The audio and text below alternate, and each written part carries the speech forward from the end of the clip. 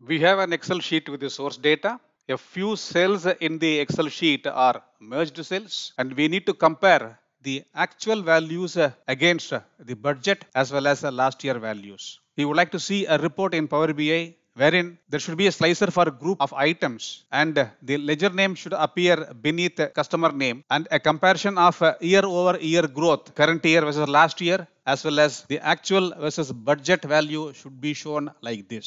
Let us quickly see how we can create one such report in Power BI. I am ready to load the data from this Excel sheet. I am going to hit transform data. Power Query editor has its own way to deal with uh, merged cells and you can just make a note of uh, how it has managed to pull data from a merged cell in Excel.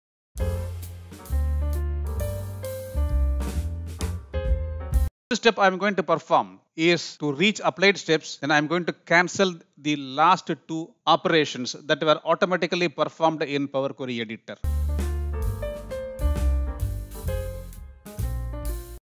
The second step that I'm going to perform is to select the first column and second column and then from the transform tab I'm going to use an option called merge columns in which I'm going to use a separator called semicolon and I'm going to leave the name of the new column as a merged column. The moment I hit OK button, you will be able to see that these two columns are merged together and then uh, the text from these two columns will be separated by a semicolon. Click OK and it is done.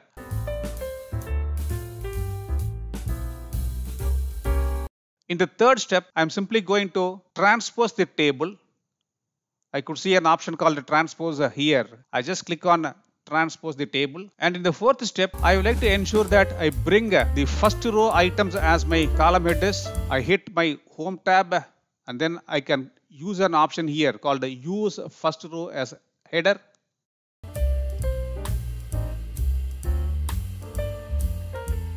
in the fifth step, I'm going to rename the first two columns and the second column I would like to rename as a type. And in this step, I'm going to click on the customer column and then would like to make use of an option called fill down so that I could see the values of customer one is repeated in rest of the rows.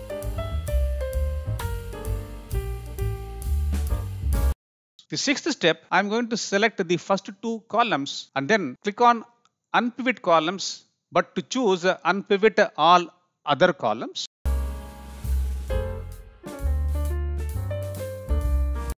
In the seventh step, I move to the result of the unpivot activity in which I could see the attribute column wherein we have used the semicolon in the second step.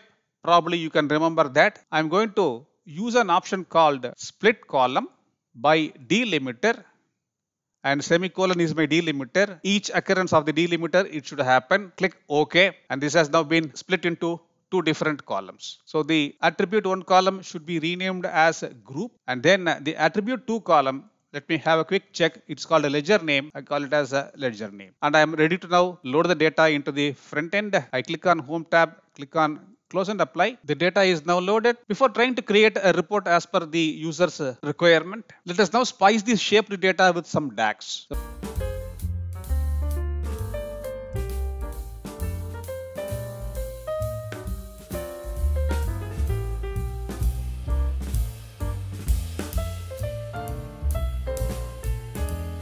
When I look at the table, the column called type holds three different parameters. Actual values for current year, budget values for current year as well as last year values. So I may be required to add the numbers in the value column for current year, last year, budget values so that I can use them in my reports. For that purpose, I would like to create a DAX measures and to keep my DAX measures away from the fact table, I prefer to create a new table and I prefer to give a name like this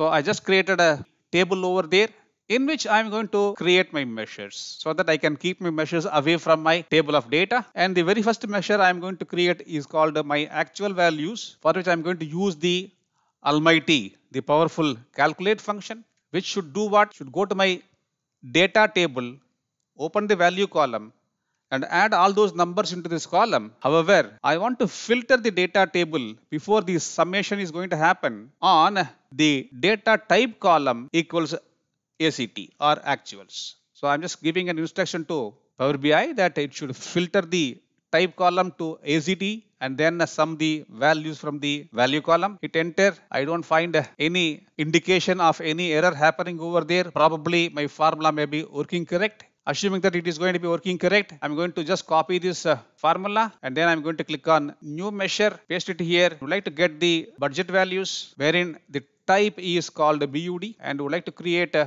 one more new measure. So I'm simply making small changes in the formula I get the last year value. Three different measures have been created by me and I could see that this is a parking table wherein I have a dummy column that I can hide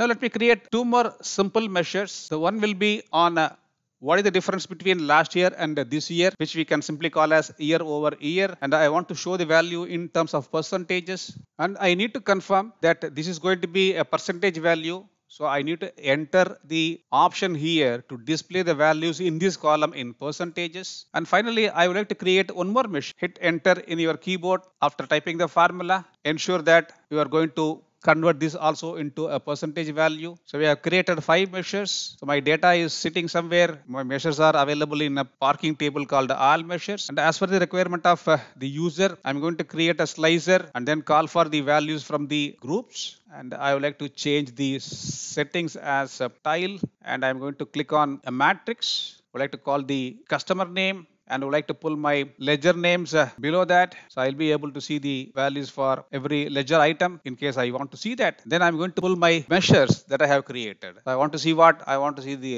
last year value. I want to see the actual value. I want to see the budget for current year. And then I want to see the year over year growth. I want to see the actual versus budget. So I'm just going to click on this plus button over there then I'll be able to see the values in terms of uh, individual ledger items. So this is what uh, is expected to be created as a report.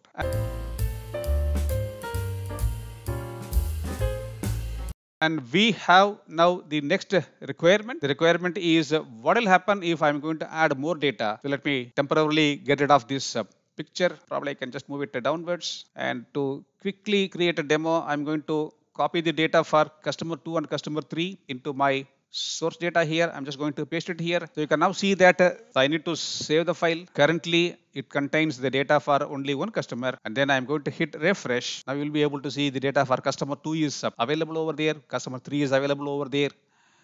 I can expand whatever is required.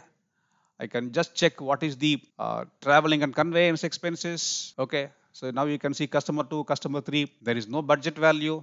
So we have the error indication mechanism here says uh, check your data. Let us quickly check whether we have the data for budgets for all of them. Yes, we do have budgets. The problem is the column header is uh, slightly different. Okay, so there is an error in the column header over there. So what is going to happen now? So this is called BUD. By mistake, it was typed here as BGT. If I'm going to replace that here, say Control S, go there and then try to refresh and I am good to go now. You will be able to see the error indication text has gone out and we have the real values uh, popping up. Traveling and conveyance, oh my god. This is really good because uh, all this magic is happening with the help of uh, Power Query Editor. So I can simply call this as a Power Query Magic. Thank you very much for watching this demo. This source file used by me can be downloaded from the link mentioned in the description. I tried something and produced a result which looks to be acceptable. However, there could be a better way around to create a report from this data set which should be easier and faster than my solution. For example, you can say, Hi Raja, instead of the seven steps you used in shaping the data, I have another method which just needs two or three steps or three or four steps. Similarly, you may have a better way of writing measures than what I have demonstrated. Why don't you share your knowledge by posting your comments or some suggestions. Thank you for your time. See you in our next video.